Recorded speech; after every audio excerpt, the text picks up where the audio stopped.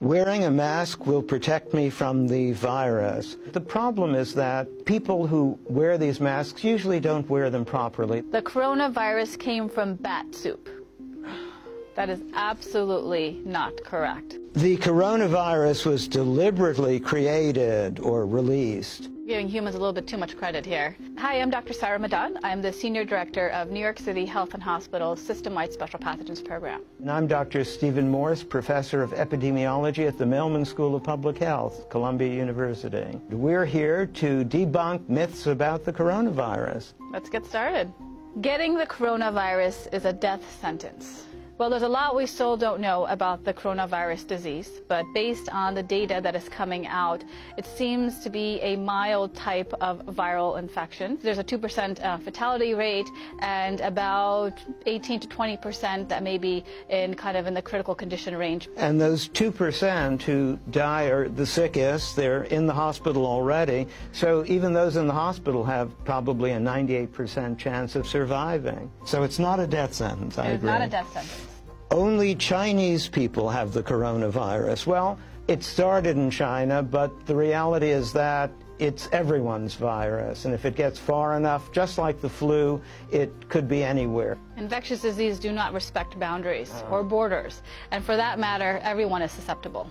The coronavirus is the most dangerous virus. Mm. That is not true. There are a number of different viruses out there in the world. So let's just compare it to another type of virus. So you have the Ebola um, virus disease, which has a much higher fertility rate associated with it. I think the official count is now 6,000 recoveries. But you know, one of the funny things is that we don't usually report recoveries when someone is discharged from the hospital. So all those recoveries, probably there are many more on the way as well.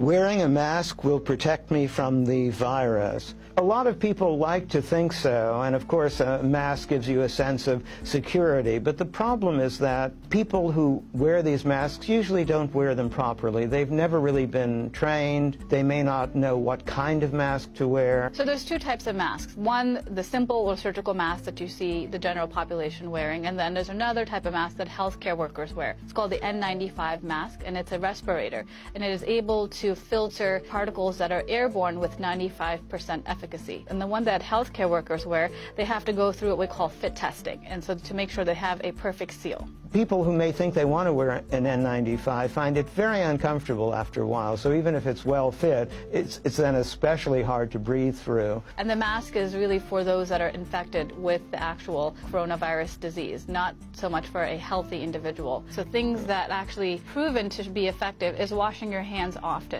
with you know 20 seconds, as well as obviously if you're sick, staying home. So a number of other public health measures that actually are proven to be extremely effective. The coronavirus came from bat soup. That is absolutely not correct. So what we know about the current coronavirus disease is that it started in Wuhan in a, a, wet market where there's a number of different animals there. So there's a couple of different speculations out there, but not from somebody obviously consuming bat soup. But what we do know, obviously, is that once you actually get the coronavirus disease, the form of transmission is obviously through droplet spread. So coming in contact with somebody that is uh, sick with the coronavirus disease, close contact with them, or, you know, contact with their droplets right shortly after. You can get sick from a package sent from China. I think it's really highly unlikely when you consider the time it takes for a package to get from China. And right now, what we do know is that obviously these droplets that can contain the virion or the, the virus itself, it may not be able to survive outside the human body for very long. So even if it may, for example, come on a package or a box, depending on how long it's been there, it may not actually be able to survive outside. But we still don't know.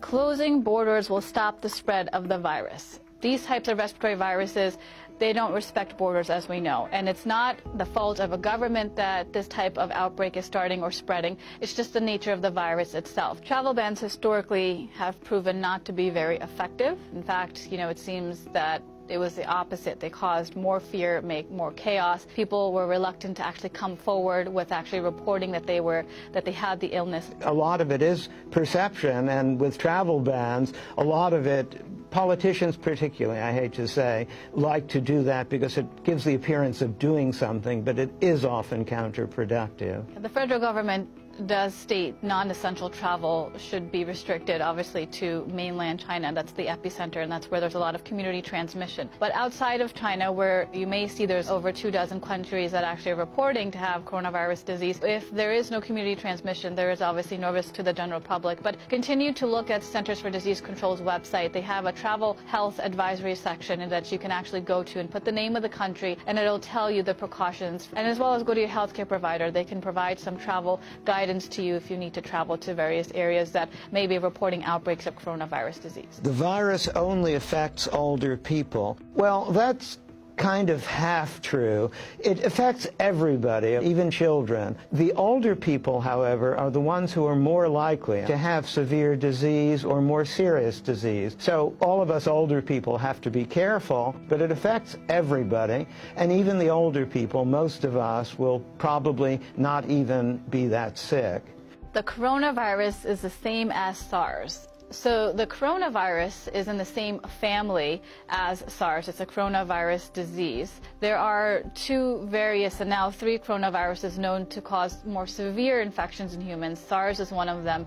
MERS, which is Middle East Respiratory Syndrome, is another one. And now coronavirus disease that just started, obviously. SARS was more severe in terms of the fertility rate that we that was reported. So it's about 10% versus with the coronavirus, what we're seeing right now is about 2%. But still, it's way too early to tell. This one is different. This spreads a lot more like the flu, but there are so many more cases simply because it spreads so well, so many more people can easily get infected. Large numbers of deaths doesn't necessarily mean that it's a very lethal virus. It just means that a lot of people have been getting it, and some of them unfortunately die.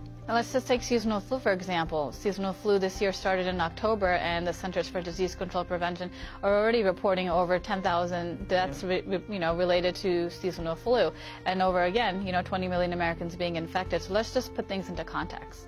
The coronavirus has something to do with Corona beer. no, and beer won't prevent it either. So corona is simply Latin for crown, and they have a crown-like appearance with those spikes sticking up. But the beer is all on its own. It, uh, it won't prevent coronaviruses, won't give it to you. It's just a coincidence.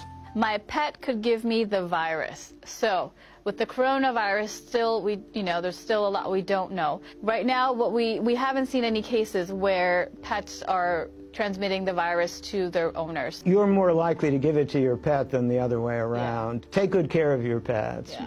The coronavirus was deliberately created or released giving humans a little bit too much credit here. So we basically had three coronaviruses in three decades, but we know that there are a lot of them in nature that look exactly like SARS, and this one doesn't look special. So this is just another one to add to the collection. Infectious diseases can be caused by a number of different things. Obviously, they're natural in the environment. It could be due to, obviously, climate change, ecological factors, agricultural factors, human behavior, and these are constantly happening around us, so outbreaks are inevitable. It could be very surprising that anyone would have figured out a way to create it. We still are way behind nature in being able to do that.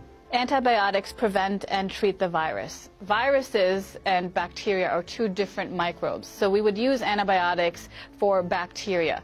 For viruses, we use antiviral medications. And so, for example, with seasonal flu, that's a virus. And so one of the ways that we can treat or alleviate some of the symptoms is by giving Tamiflu. That's an antiviral medication. So antibiotics in this context for this virus do not work unless you have secondary infections that are bacterial in nature and this is a very common misconception. There are a couple of uh, drugs now that are experimental, but they're in the development stage that are showing promise against this particular virus. We're still in the early stages of the coronavirus disease. There's a lot of rumors, things that are not factual. So really go to credible sources. Go to public health websites that are credible. Go to the World Health Organization's website. Go to your local health department's website or even go to your healthcare provider to get more information if you're curious. And if you want to read about all the emerging diseases everywhere in the, in the world, you can get on the ProMed website or even get email. And I think there has been a lot of fear around this. Part partly because we've heard of these other coronaviruses like SARS. But uh, I think